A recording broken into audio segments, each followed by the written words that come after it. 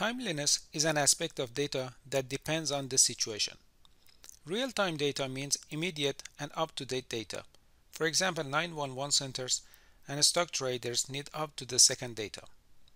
Real-time system provides real-time data in response to requests.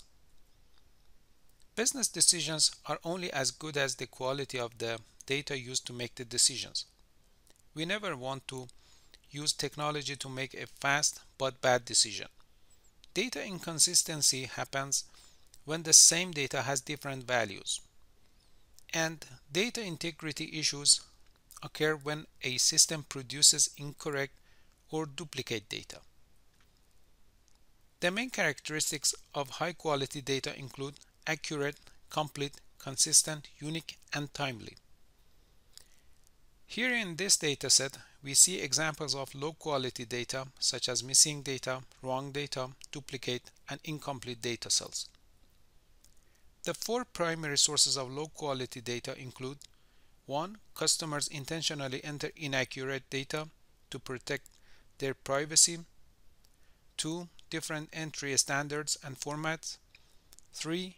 Operators enter abbreviated or erroneous data by accident or to save time. And 4. Third-party and external data contains inconsistency, inaccuracy, and errors.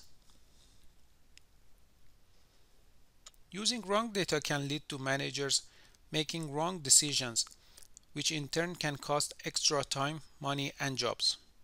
Some of the negative impacts of using low quality data include inability to accurately track customers, difficulty identifying valuable customers, inability to identify selling opportunities, marketing to non-existent customers, difficulty tracking revenue, and inability to build strong customer relationship.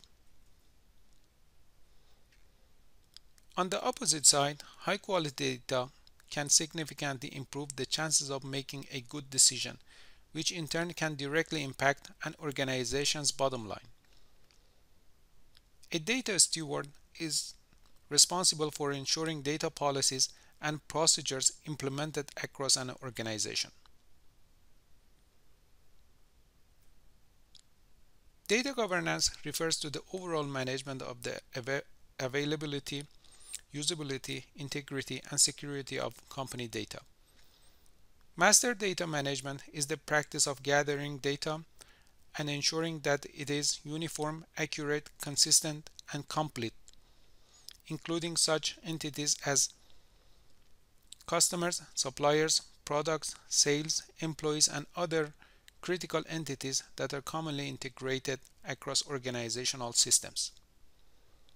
Data validation includes the tests and evaluations used to determine compliance with data governance policies to ensure the correctness of data.